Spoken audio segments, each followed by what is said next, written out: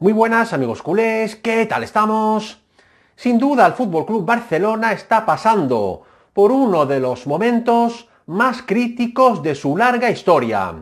Una directiva en horas muy bajas, un entrenador que no sabe si va a seguir o no la temporada que viene, una plantilla envejecida, Messi con un pie dentro del club y otro fuera, dos títulos ya perdidos y la Champions está por verse. Pero no todos son malas noticias en Can Barça. Atención a esta noticia bomba de última hora. Una fuente deportiva muy importante asegura que Bartomeu ya tiene preparado el gran golpe para este año 2020 y son dos fichajazos históricos para el próximo mes de agosto. Dos estrellas mundiales. Se trata de Neymar Jr. y Lautaro Martínez.